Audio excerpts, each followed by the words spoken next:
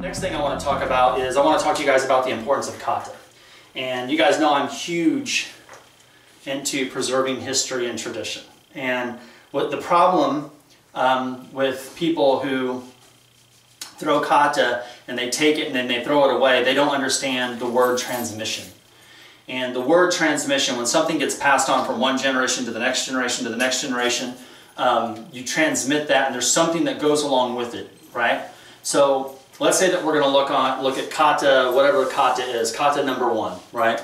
So you're doing a particular technique and whatever that particular technique is, and you do this technique, and then you've done it because it was done before you and it was done before them and it's been passed on for hundreds of years. Sword techniques, stick techniques, right? That sort of thing.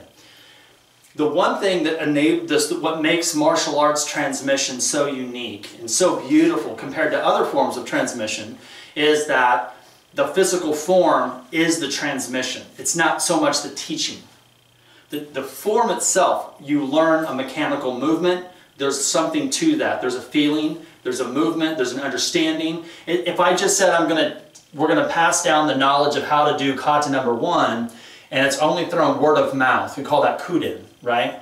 So, and it's only through word of mouth, the application would be lost. The truth would be lost. The essence would be lost because people won't remember the physical form. That's why the, the kata is so important because it transcends time. The kata was designed to teach people. Remember, I talked to you guys about strat earlier. We talked about strategies and techniques. Uh, so when you have strategies and, and, techniques, or strategies and tactics, whichever whatever word you want to use, principles, techniques, strategy, tactics, or whatnot. But the physical techniques, the physical tactics, those do change depending on the situation and depending on the time. Things evolve.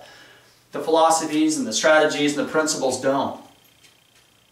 And the kata, if you think of it as a principle, what is the principle of the kata? What are the essence of the kata? What is it teaching you?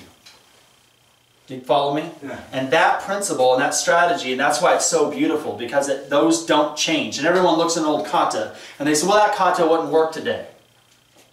Okay, well, there are kata, and there are techniques. And everyone, I think, people who are not good at martial arts, people who, you know that we've talked, I made these videos about don't be a martial arts joke, don't be one, don't be the first dan master. You know those fucking people that are like, I got a first degree in Taekwondo and a first degree here, and they're not masters, but they claim to be.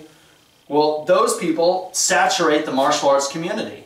People who don't aren't dedicated to any one thing. They've never really learned the martial arts. So these kind of teachers who saturate the arts and they fit in that category, they just they skip jump to different martial arts and different stuff and they just feel like that's good for them.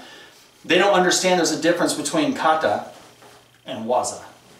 There's a difference between the, the strategies and the tactics. There's a difference between the form and the function.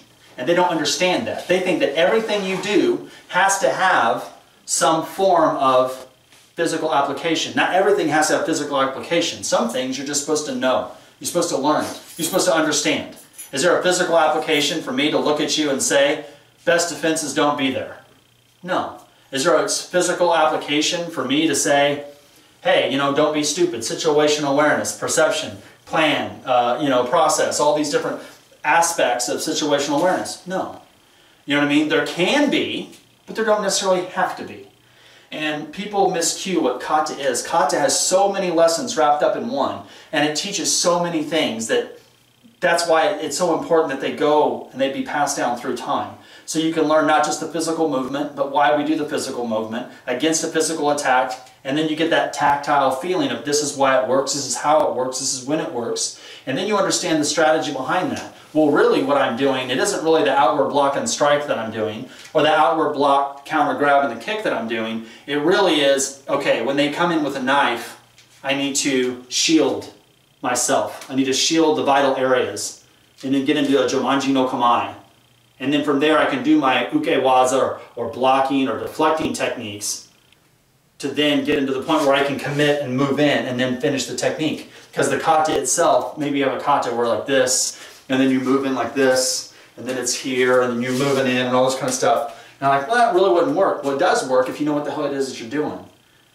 You know what I mean? So don't ever think that the kata don't work. Don't be one of those jackasses that think like that. You know what I mean? The martial arts community is saturated with dumbasses. Don't be a dumbass. This is what I'm saying, right? You know, you got, you know, Bob, and oh, I have a first degree in this and a first degree in that, and I made my own art, and it's called, you know, best shit dough. Well, okay. Don't. Shit's still shit, even if you put best in front of it. Yeah, You know what I mean? yeah. Just don't be a dumbass. There's a reason for everything. And the people that designed it, they did it for a reason.